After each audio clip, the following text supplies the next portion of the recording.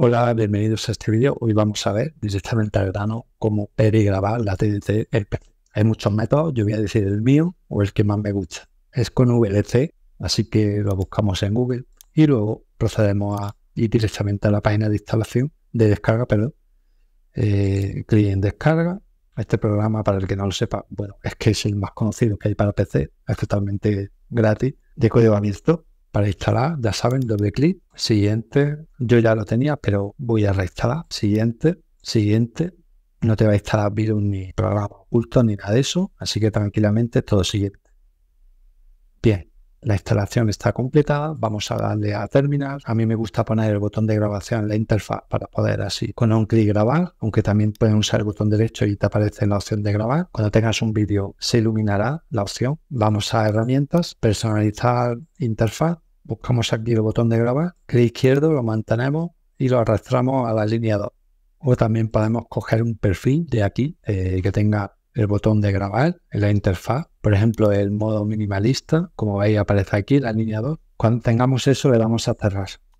Ya tenemos aquí el botón de grabar. Ahora tenemos que ir a una lista de canales que sean legales, por supuesto, y que tengan los de la TDT. Para eso vamos a ir al buscador otra vez y escribiremos TDT Channel.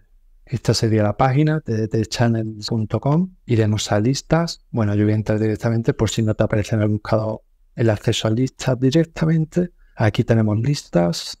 Vale, aquí vamos a escoger M3U8, aunque los demás puede que también funcionen. No vamos a clicar aquí cada uno de ellos para no hacer el vídeo muy largo. Simplemente hacer aquí clic se nos va a descargar el archivo que necesitamos. Vamos a VLC. Entramos a medio, vamos a darle a abrir archivo, buscamos el archivo que acabamos de descargar, que por cierto he descargado dos veces. Ya estamos viendo ahí los canales de la TDT. Que queremos grabar lo que estamos viendo, le damos al botón de grabar. Veis que está el botón un poco iluminado como con un tono así azulillo, significa que está grabando. Para parar la grabación le damos otra vez al mismo botón.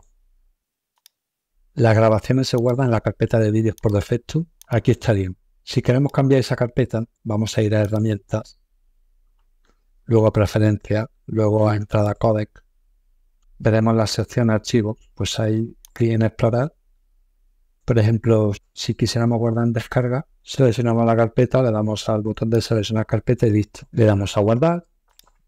Ahora, os voy a decir para ver la lista de canales, yo lo que os recomiendo es que os acostumbréis al atajo de teclado control más L y aquí tenéis, eh, están repetidos porque tienen diferentes calidades, entonces ya haciendo clic izquierdo del ratón podemos seleccionar cualquier otro canal.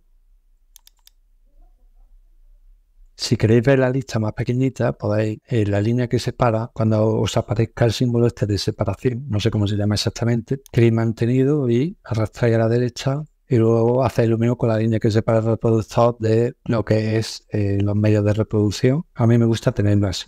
Control L también sirve para quitar la lista de reproducción.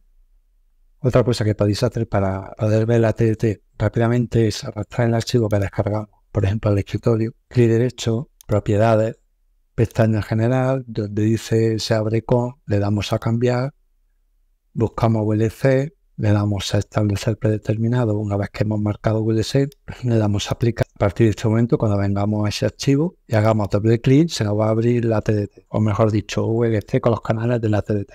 Y bueno, yo creo que eso es todo. Espero que os haya gustado, que os sirva de algo. Cualquier duda me la dejáis en los comentarios. Un saludo y buen día. Muchísimas gracias. Chao, chao.